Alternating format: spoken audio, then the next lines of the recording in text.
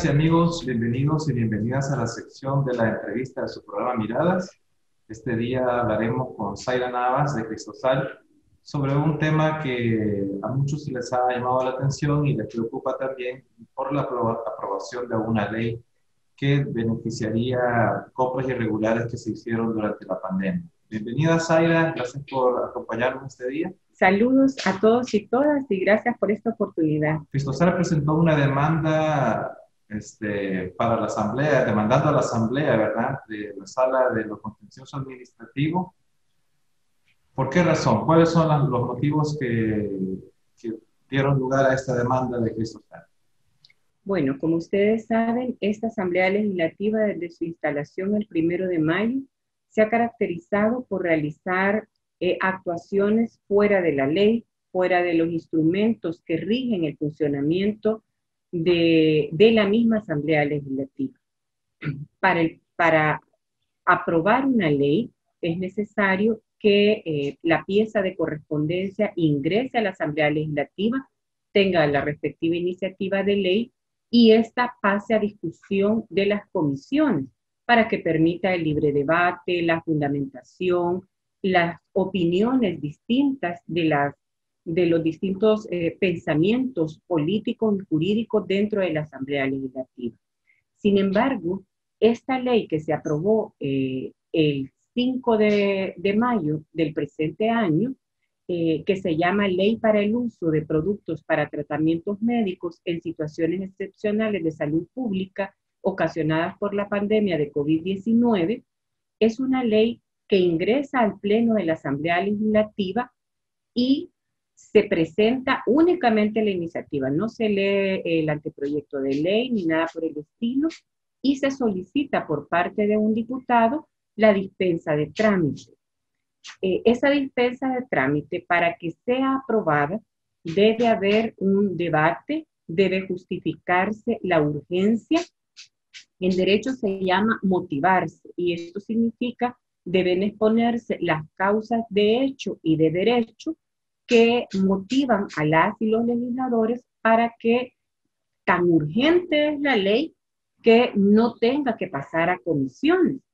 Pero en este caso no se motivó, no hubo ningún argumento, simplemente dijeron que eh, solicitaban la dispensa de trámite y la bancada del partido Nuevas Ideas del presidente Bukele y sus aliados, PCN, PDC, y Gana, por supuesto, inmediatamente lo aprobaron.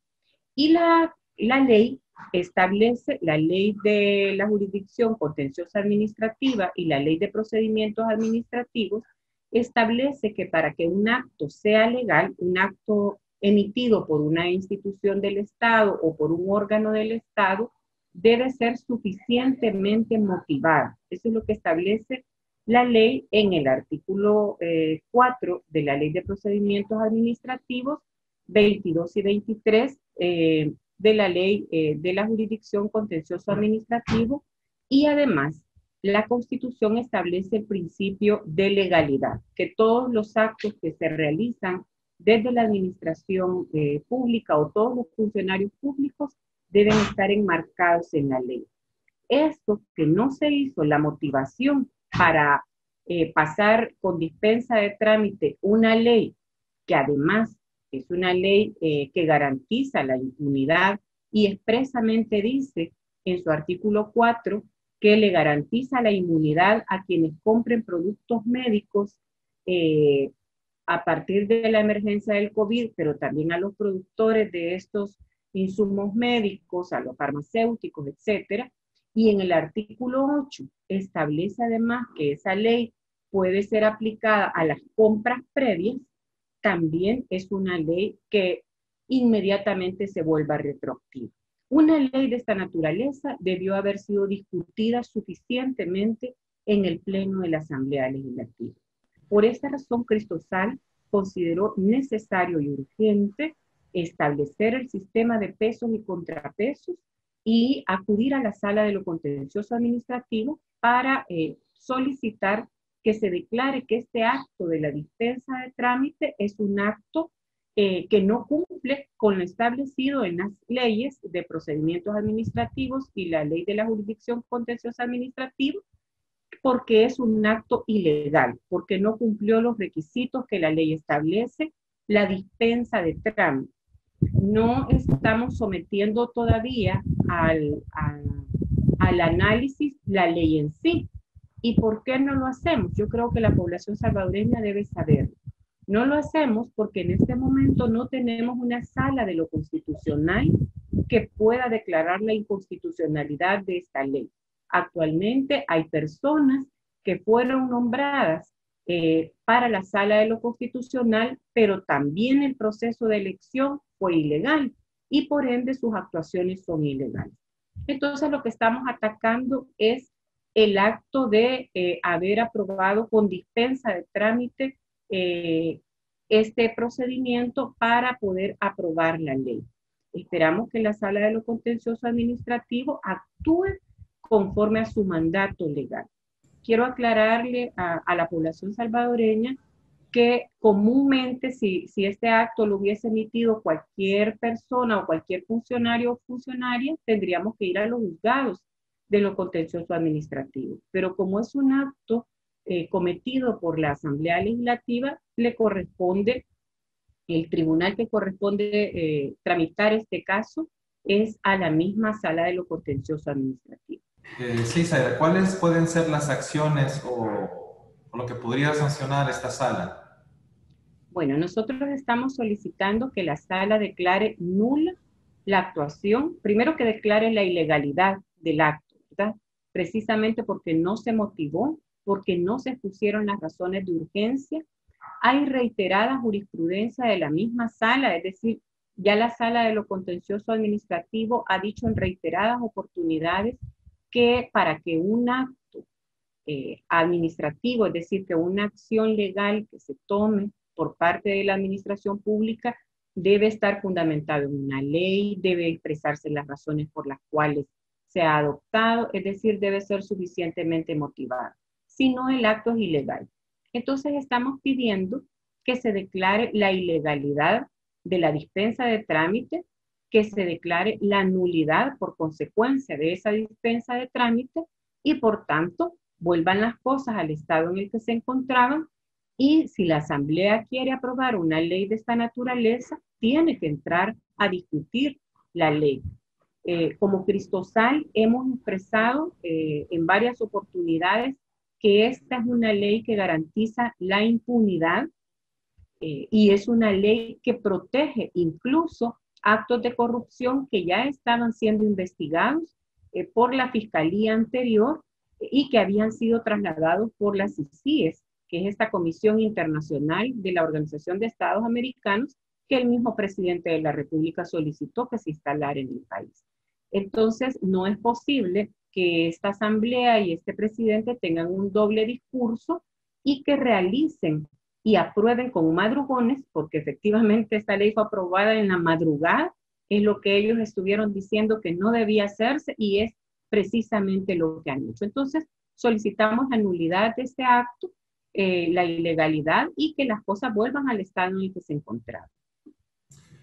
En dado caso, la, sala de lo contencioso administrativo resuelva eh, favorablemente a la demanda de ustedes, ¿qué procede después, Aire? Es decir, eh, ¿se declara nulo pero regresa a la asamblea o, lo tiene que ver el ejecutivo? Por, no, tendría que regresar a la asamblea si la sala de lo contencioso declara la nulidad de la dispensa de trámite, no tendría ningún efecto la aprobación de la ley tendrían entonces que hacer el procedimiento que la ley establece y la constitución para la dispensa de trámite, que es, eh, en primer, lo mejor sería que eh, vaya a una comisión esta ley, que la comisión la analice, que sea expuesta públicamente, que la población conozca cuál es el contenido de la ley, pero en todo caso que los diputados y diputadas lo analicen en una comisión. Si no, eh, que vaya al proceso de la Asamblea Legislativa y ahí expliquen por qué era tan urgente. Una ley que además en su contenido no está hablando de la compra inmediata de insumos médicos, su fondo realmente es proteger esta, estas compras que se hicieron previamente. Y además el fondo es saltarse la ley de adquisiciones y contrataciones de la administración pública conocida como la LECAP. Tendrían entonces que iniciar nuevamente, eh, discutirlo y luego evaluar si aprueban esta ley que ha sido aprobada o tiene modificación. Sí, Zaira, esta nueva composición de la Asamblea Legislativa lleva, no lleva ni 15 días, ¿verdad? Entonces ya ha dado mucho de qué hablar en cuanto a sus resoluciones. Eh, ¿Qué panorama percibe usted con respecto a la, coyuntura política que se vive en El Salvador? El país vivió durante la guerra eh, situaciones similares a las que tenemos ahora. La población se recuerda y a los que no lo recuerdan es bueno que lo sepan. Tuvimos en los 80 lo que se llamó la planadora verde, que era eh, diputados y diputadas del Partido Demócrata Cristiano que aprobaban todas las leyes sin discusión y de manera irregular. Y después eh, la planadora de arena, que hacía exactamente lo mismo. Eh, lamentablemente, en una semana, esta Asamblea Legislativa ha mostrado que aprueba leyes en madrugones, que aprueba leyes sin discusión, que se reparte las comisiones, la junta directiva sin tomar en cuenta las opiniones de otros partidos políticos y que obviamente no es una asamblea independiente, sino que obedece a las disposiciones del presidente de la República. Este movimiento que hizo la Asamblea Legislativa de remover ilegalmente e inconstitucionalmente a los miembros de la Sala de lo Constitucional y nombrar a personas que no cumplen los requisitos, que no provenían de los listados del Consejo Nacional de la Judicatura, es decir, violando la ley del Consejo Nacional de la Judicatura y violando la misma constitución, lo que nos ha demostrado es que pretende, no pretende, han logrado ya la concentración del poder en las decisiones del presidente de la República. Y esos son actos eh, que van contra la democracia y han roto el sistema eh, de instituciones o el sistema eh, democrático en El Salvador. El Estado de Derecho ha sido gravemente afectado y esto es importante transmitirle a la población. ¿Cómo les afecta a ustedes?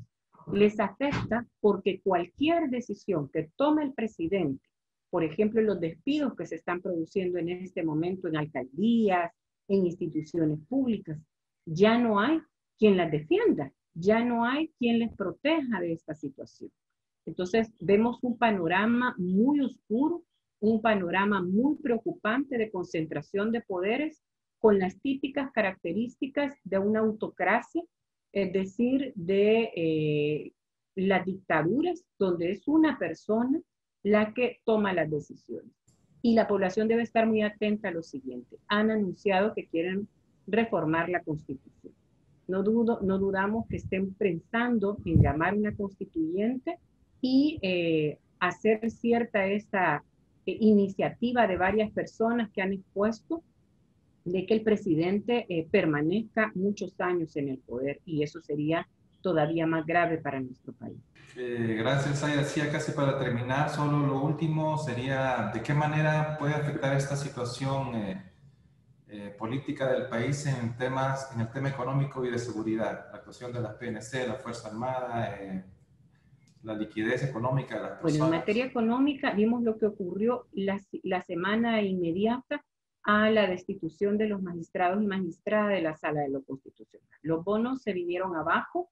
Eh, eso significa que los préstamos son más caros para El Salvador y significa eh, que es posible que haya una salida de capital salvadoreño, que hayan pocas posibilidades de nuevos préstamos para el país y eh, recordemos que este gobierno ha recibido una cantidad enorme de préstamos y si se nos suben los precios de eh, los intereses, esto implica eh, un mayor costo económico para la población salvadoreña y luego menos posibilidades de que se invierta en programas sociales porque todo tendrá que ir al pago de intereses.